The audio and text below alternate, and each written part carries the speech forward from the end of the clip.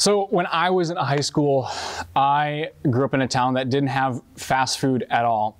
so we, what we would do is we would go to the next town over and we would go do this thing called the horseshoe. And I don't know why it was called the horseshoe, but it was. And what we would do is we would go to each place and we would get something from there and, and make the ultimate fast food meal. So we'd get like a Baja Blast from Taco Bell because that's the best drink that you can get from any fast food restaurant. We'd get fries from McDonald's. We'd get burgers from Wendy's, and we'd get uh, we'd get like milkshakes from Sonic, and it was it was awesome. It was fun. It was fun, but it was kind of tiring after um, after you did it multiple times. So that, that's how I used to do fast food. And then I moved to West Michigan and they had this thing called Chick-fil-A. And now it's a one-stop shop for me. Got, you've got the best milkshakes, you've got the best food, great fries, and I mean like the best drink ever.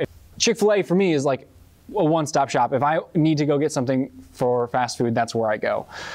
But when we think about this idea, when, it, when we think about this idea of going to one place, going to one place for a source, our source for everything, when we think about that when it comes to our faith, um, it's, it's an interesting idea.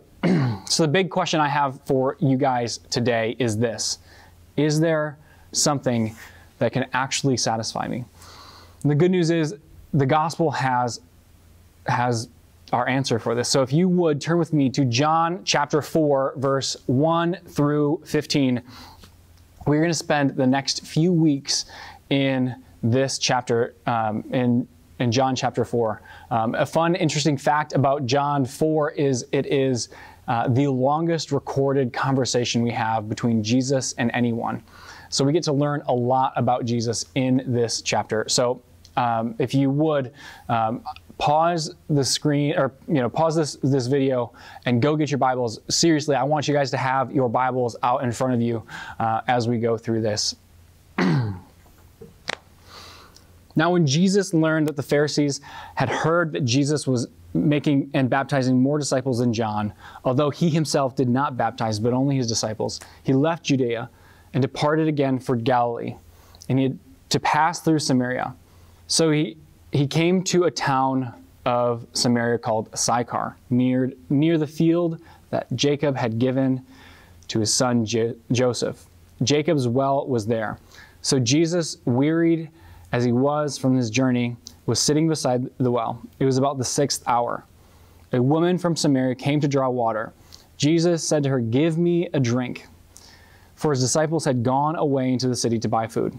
The Samaritan woman said to him, How is it that you, a Jew, ask for a drink from me, a woman of Samaria? For Jews had no dealings with Samaritans.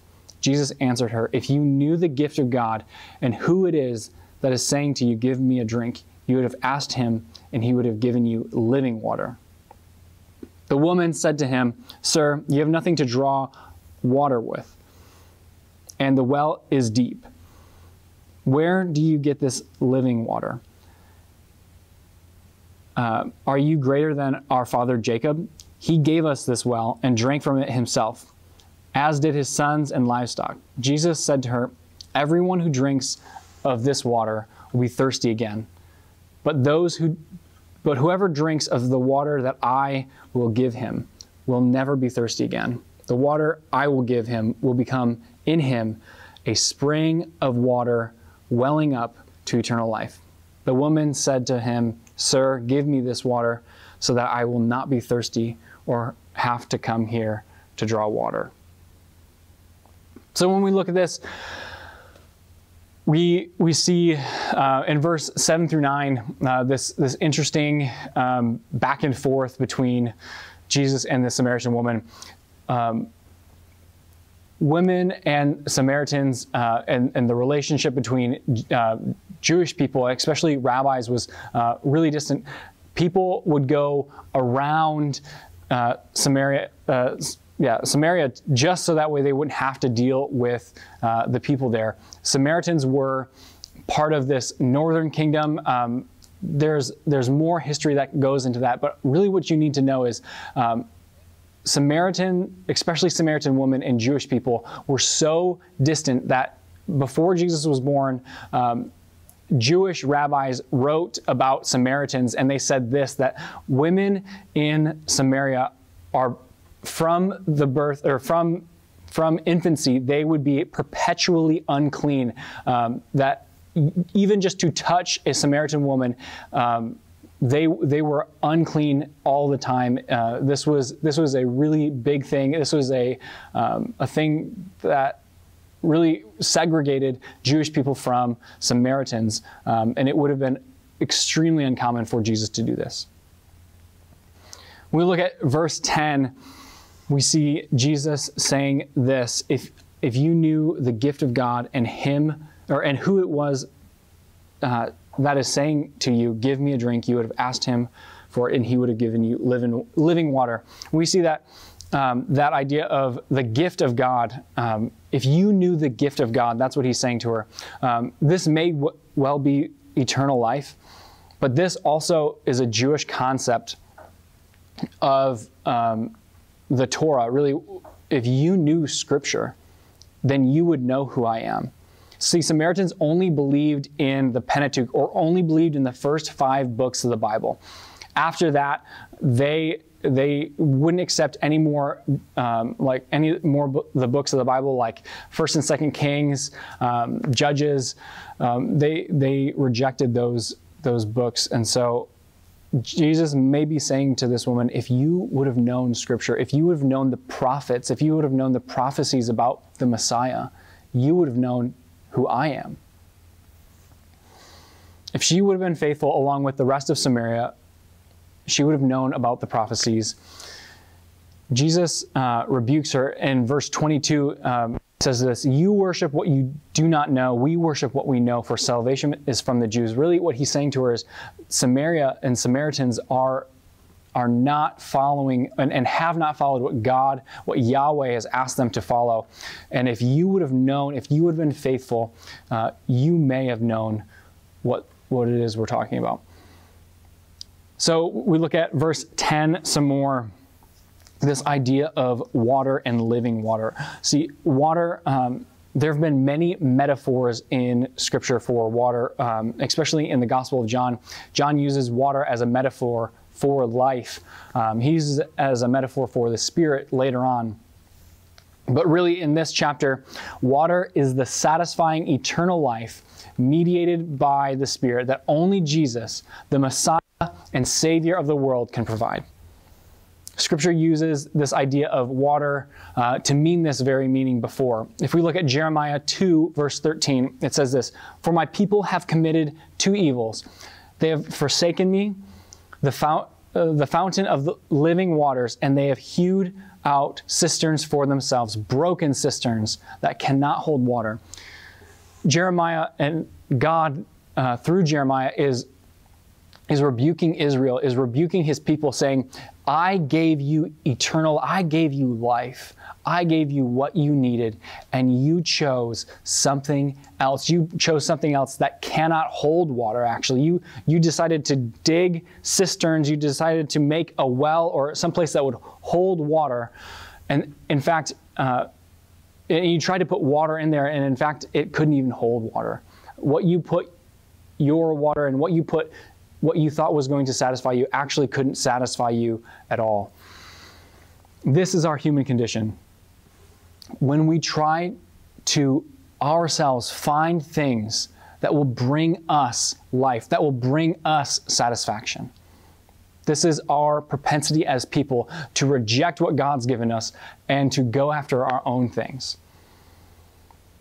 Let's look at verse 13 and 14. Jesus says this interesting thing. Jesus said to her, Everyone who drinks of this water will be thirsty again, but whoever drinks of the water that I give him will never be thirsty again. The water I give him will become a, in, in him a spring of water welling up to eternal life. This is where we get to our main point. Jesus is the source of all life. Life is one of the most sacred things in our society, society, and inherently, all of us understand this. This is why we have laws against murdering people. And the, when we see on the news that people were killed or people were tortured, we are appalled by that because life matters. Jesus here is not simply even just talking about um, life here on earth, but he's talking about eternal life, a, a life that is everlasting. Jesus is talking about a life that does not end, a life that he can provide uh, for all people who believe in him. The truth is, there are endless pieces, there are endless places to try to find life, to try to find the thing that will satisfy us. But you won't be able to find your satisfaction in anything else besides Jesus himself. See, that woman will always have to go back to the well because we will always become thirsty again. There isn't enough of fill in the blank for you to satisfy you. There isn't enough sex to satisfy you. There isn't enough alcohol to satisfy you. One day uh, you will become sober again. You cannot be drunk enough where you can no longer become sober. You can't be high enough where you will become uh, sober again. There isn't enough of anything to satisfy you. And I get this. I understand this. It's it's hard and it's easy really to chase after things other than Christ that we think are going to satisfy us, that are going to bring us the feeling that we want. See, in high school, I, I was never attractive enough, or I was never pursued by any women. I, I had a hard time finding people to date me, and um, I really felt rejected. And something that I longed for was for someone to want me, someone to be to to, to desire me. And um, I tried so many different ways. I, I, tried so many different looks. I tried everything. I tried so hard. In fact, I tried so hard. Yes, those are all pictures of me. But nothing, none of those things satisfied me. Even when I found my wife, even when she desired me, it became something that wasn't enough and I love my wife, and it's and she's amazing. But the thing is, she can't fulfill that need for me. She can't fulfill the desire that I have because it isn't a desire to feel desired by, by a woman. It is a desire to, to feel desired by God. So, our application, we've just got one today. the application is go to Chick fil A. Not literally, but you don't need an endless list of places to try to find life, to try to find satisfaction. Go to the place that has it all. Jesus Christ can be the thing and is the only thing that can fully satisfy you because he created you. Romans 1 24 through 25 says this Therefore, God gave them up to their, in their lusts of their hearts to impurity, to the dishonoring of their bodies among themselves, because they exchanged the truth about God for a lie and worship and served the, crea- uh, the creature rather than the creator who is blessed forever. Amen. What this passage says really is that God is the creator and worshiping anything less than him, eh, worshiping anything that he has created won't be enough. Cannot fill that, that desire in our hearts that we all have. And I'll, I mean, I'll be honest, like so, what God has created is awesome. I mean, I have personally, I mean, TikTok is is amazing. Like, you know, have I spent more than 40 hours watching TikTok this week? You know, those are just numbers. But like maybe, maybe that's happened. no matter how much TikTok I watch, I will always want to watch more. I could watch every video on TikTok and I would still desire, there would still be something in my heart wanting more. It is created. What God created cannot fill the place that was designed for the Creator.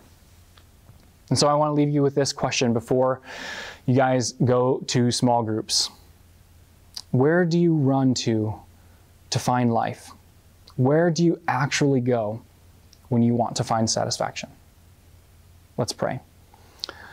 God, we thank you for, for life.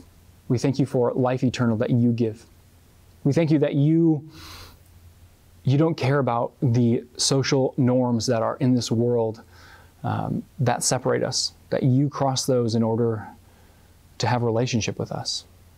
God, we thank you that you came down from heaven to pursue us. God, help us to respond to you and help us to find our satisfaction, our joy in you, because there is nothing that can give us joy like you. God, we love you. And we love to do your will, so help us do that. In your name we pray. Amen.